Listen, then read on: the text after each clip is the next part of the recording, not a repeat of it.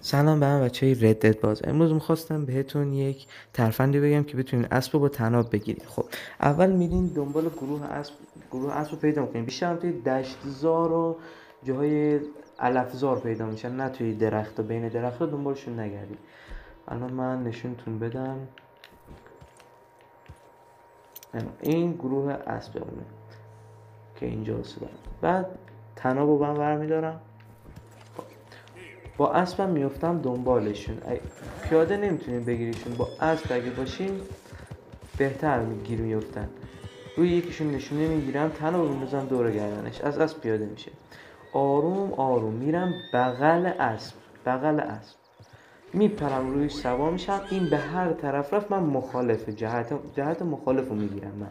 یعنی اینجوری لغت میپرنه لغت می‌زنه لغت می‌زنه. لغت لغت لغت آه. الان اسب ما شد. با این اسب می‌تونین برین هر مثل اسب خودتون نمونه ممنون از اینکه کلیپ هم نگاه می‌کنین. حتما حتما حتما منو دنبال کنین تا ترفنده دیگه بازی رو هم بهتون بگم. متشکر